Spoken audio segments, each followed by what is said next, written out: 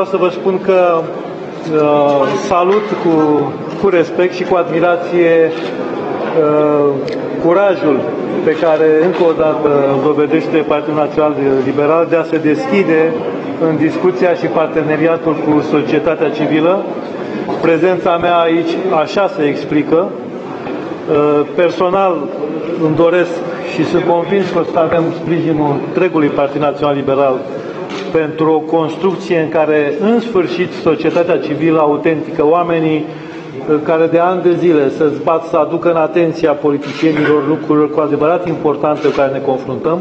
Deci tot acest efort al lor să fie încununat de succes.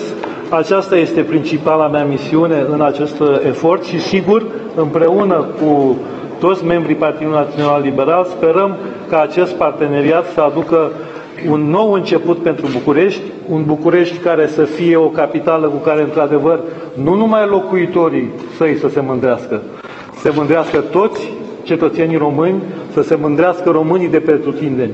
Pentru că noi avem nevoie de o capitală cu adevărat românească, reprezentativă, golită și dezbărată de metodele și metecnele trecutului și mai ales o capitală în care cetățeanul să fie într-adevăr să aibă posibilitatea să spună cuvântul și cuvântul său să fie respectat. Le mulțumesc tuturor!